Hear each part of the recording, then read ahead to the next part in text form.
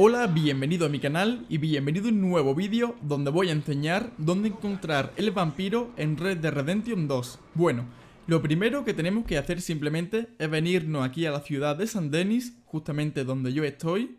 Lo voy a dejar todo bastante claro, fijaros, nos vamos aquí abajo y tenemos que encontrar lo que es en la ciudad hasta un total de 5 escritos que ha dejado escrito el vampiro en la pared. Bueno, tenemos que encontrarlo, que son 5 localizaciones que solamente encontramos en la ciudad. No hay que recorrer mucha distancia entre localizaciones. Así que nada, la primera localización justamente es aquí, en esta parte del mapa. Simplemente venimos, antes de nada me gustaría decir que si escucháis un ruido de fondo, seguramente es la PlayStation 4, que está formando un ruido bastante increíble, porque ahora mismo hace muchísima calor en mi habitación. Y bueno, cuando estemos en esta localización, entramos por aquí, y aquí nos fijamos que en la pared hay una especie de escrito, simplemente lo examinamos y lo apuntamos lo que es en nuestro diario, tal como va a hacer el personaje. Vale, fijaros que lo apunta lo que es en el diario en este caso, cuando ya lo tenga apuntado, simplemente nos vamos a la segunda localización. La segunda localización la podemos encontrar justamente en esta parte del mapa.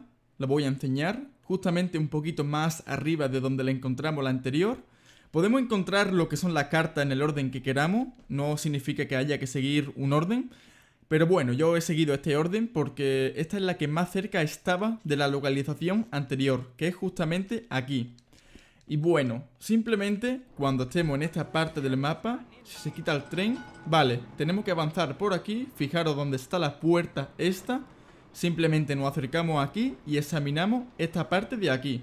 Le damos a examinar y una vez que lo apuntemos en la libreta, en el diario mejor dicho, ya lo tenemos examinado. Vale, ya lo tenemos examinado, podemos cerrar e irnos a por la tercera localización.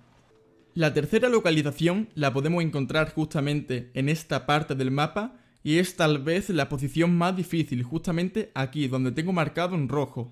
Bueno, lo voy a poner un poco más grande para que se vea bastante claro. Justamente aquí. Y bueno, esta localización es un poco más difícil porque no se llega a apreciar del todo lo que es la pintura. Simplemente cuando estemos en esta parte del mapa, entramos por aquí. Entramos por aquí, por donde yo estoy entrando. Y ahora cuando lleguemos aquí a una parte donde hay una maceta por aquí, simplemente nos vamos a la derecha y aquí encontramos en la pared otro escrito, lo que pasa es que este se ve bastante mal, se ve como medio borroso. Simplemente cogemos el diario y lo apuntamos en el diario. Y ya tenemos lo que es esta pista encontrada. Ahora vamos a ir a por la siguiente. La cuarta localización la podemos encontrar justamente por esta parte del mapa. Es un poco más abajo que el anterior, simplemente por aquí, donde tengo marcado en rojo. Y bueno, cuando estemos aquí en mitad de la carretera donde yo estoy, simplemente entramos por este callejón, fijaros por dónde estoy entrando.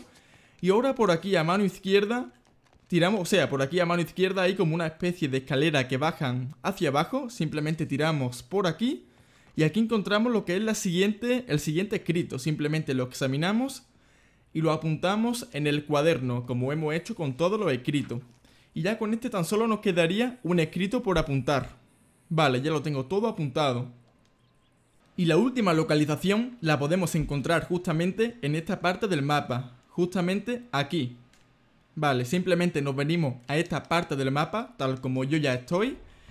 Y nada, entramos por aquí por donde hay una especie de reja, bueno, una reja mejor dicho, y aquí encontramos otro escrito, pero esta vez lo encontramos en blanco. Simplemente le damos a examinar y lo examinamos y una vez que tengamos todo lo escrito ya examinado, ya formaremos lo que es el mapa o toda la pista al completo para dar con el, con el vampiro.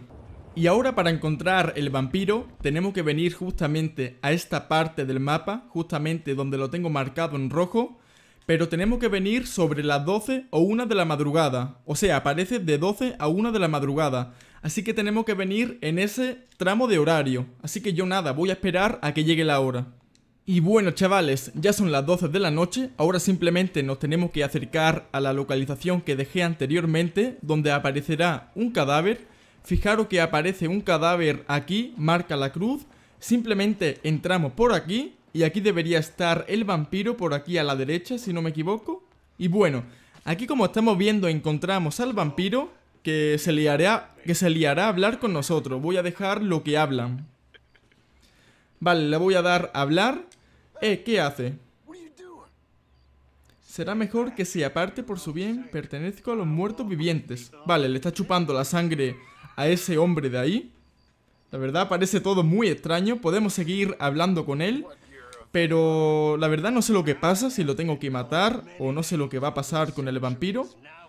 De muchas formas a lo largo de los siglos, ahora vaya vale. Pues lo vamos a provocar y vamos a intentar matarlo. A ver si muere con una estaca en el... Hostia. Espérate, voy a coger una pistola. Vale, lo vamos a reventar. Y ahora me parece que da lo que es. Vamos a saquearlo, a ver lo que nos da el vampiro.